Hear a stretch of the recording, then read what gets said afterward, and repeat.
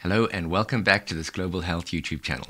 Today I'm just going to talk to you a little bit about internships at the WHO. What are the options? What are the possibilities in terms of doing an internship at the World Health Organization? I'm going to tell you a little bit about that. Firstly, I'm going to tell you how to find the information about internships at the WHO webpage, and I'm going to walk you through that. It's pretty simple. Secondly, I was an intern at the WHO kind of 20 years ago. Uh, and I had a really positive experience. I'll tell you a little bit about that. And I'll tell you about changes that have been put in place that actually make it an even better experience at the WHO. Excellent stepping stone for you. Great way to get some, some really, really good experience. Okay, so let's dive right in. So, about 20 years ago, I was an intern at the WHO, at the World Health Organization in Geneva.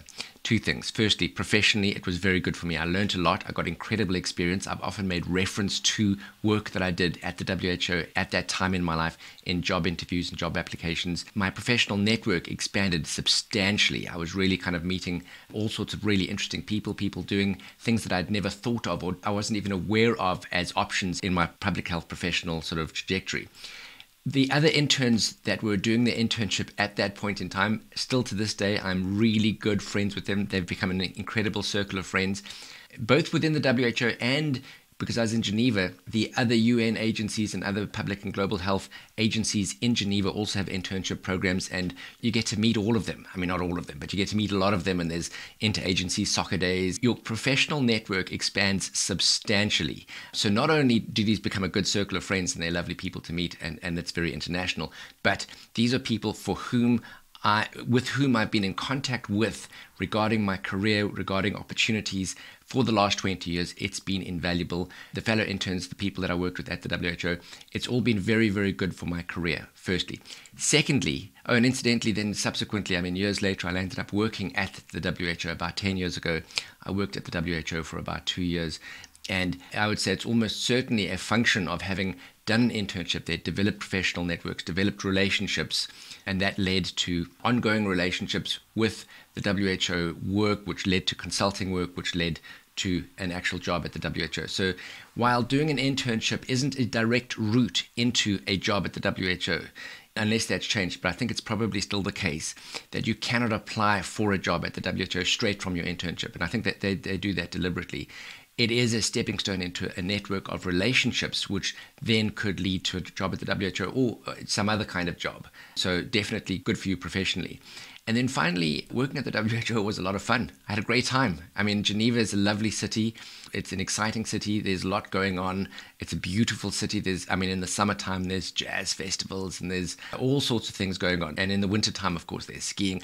I mean, it is a lovely city to be in. So, you know, absolutely, you'll have a good time doing an internship in Geneva at the WHO. Now, finally, let's take a look at the WHO webpage, and I'll talk you through how it is that you can find the, the you know, where it is that you make the application for the internship.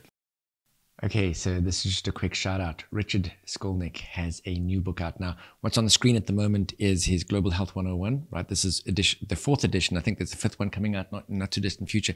And if you look on my desk over here, always on my desk, always on my desk is uh, Global Health 101. Now I've got I've used the second edition because I've just used it so much. I, I, I, I, know where everything is and there's stuff that's underlined and highlighted and stuff, but there's four editions of this, fifth one coming out quite soon. And now he has another book, Global Population Health, a primer. I highly recommend that you get both books, and let me tell you why. I don't know of anybody, and I've been in the global health space for quite some time. So I don't think there's anybody on planet Earth today that understands global health, the problems and solutions in the way that Richard does. Not only does Richard have an extremely rich and deep understanding of the problems and issues in the global health landscape, but Richard is an incredible writer. He writes in a way that's so accessible. You will find reading his work an absolute pleasure and you will learn an enormous amount. So, highly recommended. Get both books, do it today. Let's carry on with the video.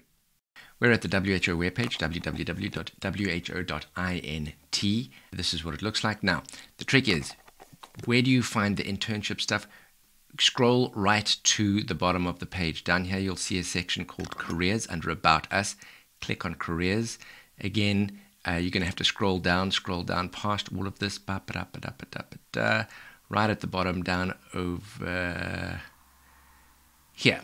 Right, internship program. Click on that It's going to tell you all about the internship program. It's worth reading. So basically, you know, the pluses and minuses, what are you going to do, etc., etc., what to expect. And here is a how to apply, um, and of course, frequently asked questions. Okay.